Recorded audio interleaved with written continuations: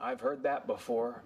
Then the next thing you know, I'm hiding in my bedroom, blaring a Richard Feynman lecture, while my mom is shouting that Jesus would forgive her if she put ground glass in my dad's meatloaf.